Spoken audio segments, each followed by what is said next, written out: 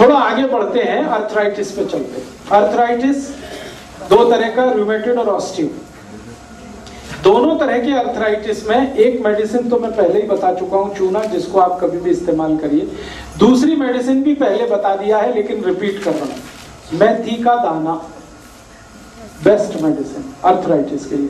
दोनों ही अर्थराइटिस के लिए। रूमेटेड है तो ऑस्टियो है तो।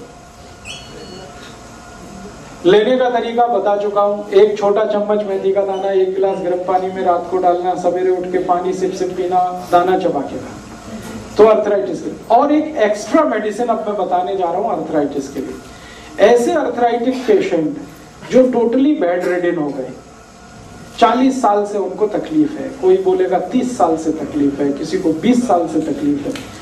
और ऐसी कंडीशन हो सकती है कि वो दो कदम भी ना चल सकें।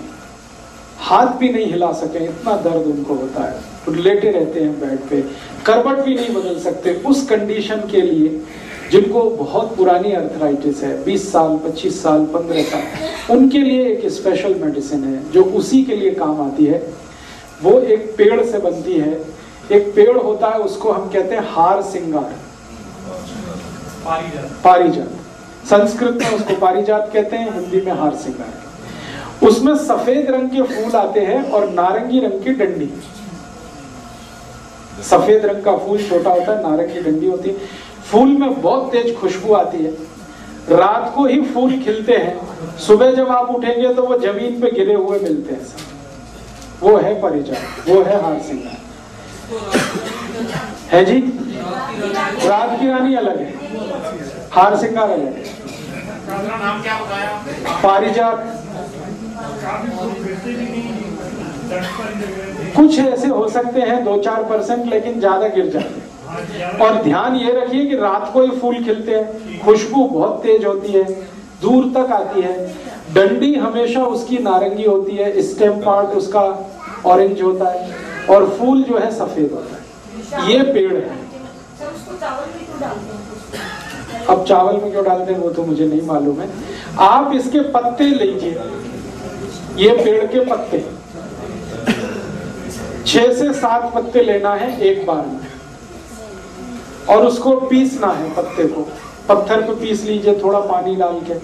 पिस गया तो एक गिलास पानी में वो मिला के, पीसा हुआ चटनी मिला के उसको बॉईल करना है, पानी को।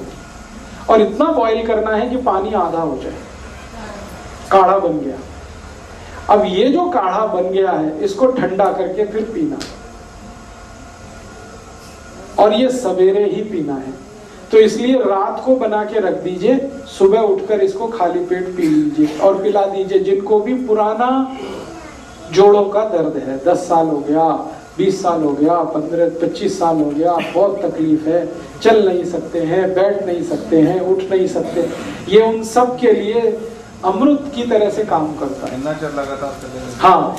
वही है तीन महीने लगातार दे दो फिर ब्रेक कर देना। फिर और तीन महीने दे देना। मैंने इसमें देखा है कि ज़्यादातर केस एक से डेढ़ महीने में ही ठीक हो जाते हैं। तीन महीने तक तो बहुत रेयर केस हैं जिनको लेना आपको? बहुत अच्छा। तो अब आप ये दूसरों को बताइए। अच्छा इसको आप अर्थराइटिस में यूज़ करिए जॉइंट्स पेन में यूज़ करिए। इसका और एक यूज़ है, जो थोड़ी देर पहले बात आ रही है। अगर आपको डेंगू हो गया अब डेंगू में बुखार आता है उसके बाद शरीर टूटता बुरी तरह से दर्द होता है। बुखार कई बार चला जाता है लेकिन दर्द नहीं जाता। उसमें भी इसी को इस्तेमाल करें। हाँ इसी तरीके बस इतना है कि डेंगू के केस में पंद्रह से बीस दिन ही लेना पड़ेगा। अर्थराइटिस में डेढ़ दो महीने तक लेना पड़ सकता है। नॉर्मल पी सकते नहीं नॉर्मल नहीं। जे किसी ने कोई प्रॉब्लम नहीं है? नहीं फिर नहीं। ना ना, ना। दर्द नहीं होने लग अगर हाथ में दर्द नहीं होता कटकट आवाज़ आती है ये तो छूने से ही ठीक हो जाए वहाँ तक जाने की ज़रूरत है। नीज में भी आवाज़ आती है ना जब हाँ तो ये तो चूने से ही ठीक हो जाएगा। जिनकी वैसे ही टांगे दुखी हो लाइक पेटियों का दर्द सिर्फ़ चूना।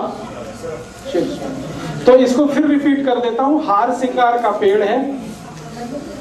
उसको पहचानना है कि सफ़ेद फूल छोटे नारंगी रंडी फूल की खुशबू बहुत है, रात को फूल खिलते हैं, सवेरे ज़मीन पे गिरे हुए मिलते हैं। इसके पत्ते को भी पहचानना बहुत आसान है। इसके पत्ते को आप छुएँगे तो कांटे जैसे चुपके नहीं मिलेगा। कोई नहीं रखता। ये तो जहाँ पेड़ लगा है, वहीं मिलेगा। तो आप इसको घर में लगा लो। ये जो नर्सरी वाले लोग हैं ना, उनसे पौधा लिया और दो चार पाँच रुपए का पौधा मिलता है, बिना पानी के होने वाला पौधा है, बहुत तेज़ी से बढ़ता है। छह महीने में ही पूरा पेड़ हो जाता है लगाते। इसलिए लगाना बहुत आसान है, किसी भी मिट्टी में हो जाता है, कहीं भी हो जाता है। इसलिए लगाने में प्रॉब्लम तो लगा लो, नहीं तो ढूंढ लो, पटियाला में कहीं ना कहीं तो मिल जाए। ये गुरप्रीत भाई से पूछ लेना, ये बता दें। अब आपको जो ध्यान रखना है वो ये कि इसके फूल नहीं लेने हैं, पत्ते, छह सात पत्ते, चटनी बनानी है। चटनी बनाने से मतलब उसमें नमक मिर्च कुछ नहीं डालना है, पत्ते पीस के चटनी बनानी है। एक गिलास पानी में वो मिलाना है, पानी को इतना गर्म करना है कि आधा हो जाएगा, फिर उस पानी को ठंडा करके पीना है। ये है पूरा प्रोसीजर हर दिन नया बनाना, हर दिन नया बनाना, हर दिन नया। रात को बना के रख देना। सवेरे उठ के पी लेना दोबारा गर्म नहीं करना। एक बार जो बन गया रात को रख दिया सवेरे पी। अब इसमें आप ये करेंगे कि फ़िल्टर करके पीना है क्या? बिना फ़िल्टर करके पिएँगे तो जल्दी परिणाम है। फ़िल्टर करके पिएँगे तो परिणाम आएगा लेकिन थोड़ा देर लगेगा पेशेंट मेडिसिन ले रहे हैं हाँ मेडिसिन रोक दीजिए इसको दे दीजिए। हंड्रेड परसेंट रिज़ल्ट है इसके। एक भी आज तक पेशेंट मुझे ये नहीं बोला कि मुझे इसका फ़ायदा नहीं हाँ। ये एडिशनल है और एक्सक्लूसिव है। इसको लेने के बाद कुछ लेने की ज़रूरत नहीं पड़ती। ना चूना, ना मेथी का दाना। डेंगू पेशेंट भी इसको ले सकते हैं। और जितने तरह के आपको बीमारी आती है, बुखार, जिसमें जोड़ों के दर्द आ जाते हैं। किसी भी तरह का बुखार जिसमें जोड़ों का दर्द आ जाए और जल्दी ठीक ना हो, उन सब में आप इसको यूज़ करें। मेथी दाने के साथ में भी ले सकते नहीं नहीं नहीं नहीं जी। ये इतनी स्ट्रॉन्ग दवा है कि ये अकेली ही ली जाती है। दूसरा सर इसमें अथराइट्स के लिए बाबा किताब में दिया गया सुंड मेथी दाना हल्दी। हाँ ज़रूर लीजिए। उनके पाउडर के साथ मेरा ये कहना है कि जो किताब में है वो तो आपको मालूम ही है।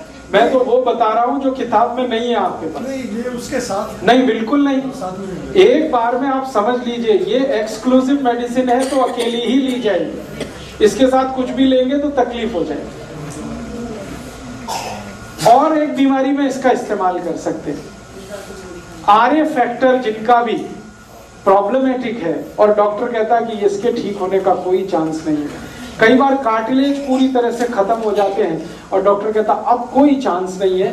नी जॉइंट्स आपको रिप्लेस करने ही पड़ेंगे। हिप जॉइंट्स आपको रिप्लेस करने ही पड़ेंगे। तो जिनके नी जॉइंट्स रिप्लेस करने की नौबत आ गई हो माने घुटने निकाल के नए लगाने पड़ रहे हो या हिप जॉइंट्स निकाल के नया लगाना पड़ रहा हो उन सब के लिए ये दवा है। फारसिंगर फारसिंगर कभी भी मेरा आपको कहना है कि नी जॉइंट्स को रिप्लेस मत कराइए। कितना भी अच्छा डॉक्टर आए, कितनी भी बड़ी गारंटी दे, कभी भी मत कराइए उसको। और हिप जॉइंट्स को कभी रिप्लेस मत कराइए। भगवान की जो बनाई हुई है, वो कोई नहीं बना के दे सकता आपको दोबारा। आपके पास जो है, उसी को रिपेयर करके काम चलाइए। हमारे देश के प्रधानमंत्री श्री अटल जी ने ये प्रयास किया नी जॉइंट्स का रिप्लेसमेंट हुआ। अमेरिका के बहुत बड़े डॉक्टर ने किया। आज उनकी तकलीफ़ पहले से ज़्यादा है। पहले तो थोड़ा बहुत चल लेते थे, अब तो चलना बिल्कुल बंद हो गया है। कुर्सी पे ले जाना पड़ता है। अब आप सोचो, जब प्रधानमंत्री के साथ ये हो सकता है तो आप तो कॉमन पीपल इसलिए बड़े बड़े डॉक्टर आते हैं अमेरिका से और हर साल यहाँ कैंप लगाते हैं और इन कैंपों में भीड़ उमड़ती है। नी रिप्लेस कर लो, ये रिप्लेस कर लो, ये मत करिए आप। भगवान ने जो दे दिया है, उस पर भरोसा रखिए, उसको रिपेयर कर लीजिए। पैसे का घमंड कभी मत करिए कि मेरे पास पैसा है तो मैं क्यों नहीं कर सकता। पैसे से दुनिया में सब नहीं होता। जो हो जाता, तब तो ये दुनिया ही दूसरे तरह की उनको मालूम था, लेकिन उनके सहयोगियों ने चलने नहीं दी। वो चाहते नहीं थे कि ऑपरेशन हो। लेकिन उनके आसपास के लोग थे, उन्होंने कहा, अरे अगर अमेरिका का डॉक्टर है, इतना अच्छा है, वैसा है, तैसा सबके दिमाग में तो भूत घुसा हुआ है ना, अमेरिका अमेरिका अमेरिका। सारी दुनिया में हर चीज़ अमेरिका की ही अच्छी है। अब वो अमेरिका खुद भिखारी है सारी दुनिया के सामने। तो ये दिमाग का फितूर हटाइए आप। कि अमेरिका से कोई डॉक्टर आ गया, उसके पास आठ दस बड़ी डिग्रियाँ हैं तो बहुत बड़ा ज्ञानी हो जाएगा। बिल्कुल ज़रूरी नहीं। ज्ञान का डिग्री के साथ कोई लेना देना नहीं है, कोई रिश्ता नहीं है।